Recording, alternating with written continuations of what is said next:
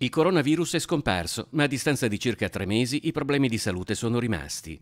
Tra marzo e aprile, dopo 27 giorni di ricovero, di cui 12 in terapia intensiva al Covid Hospital di Jesolo, William Crepaldi, 54enne di San Michele al Tagliamento, aveva perso 18 kg, non riusciva a camminare e faticava a respirare. Ora ha voluto rendere pubblica la sua esperienza attraverso l'ULS 4 Veneto Orientale perché ancora oggi, ha raccontato, continua a respirare con difficoltà, si affatica subito, perde la memoria, è spesso poco lucido, gli mancano automatismi motori nel fare le cose più banali.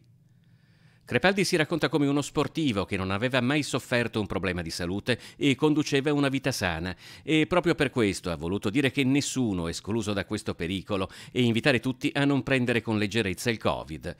Siate attenti alla vostra salute e a quella degli altri proteggendovi e vaccinandovi, ha detto, perché ogni singolo contagio può coinvolgere altre persone, causando quello che è successo a me o peggio ancora la morte.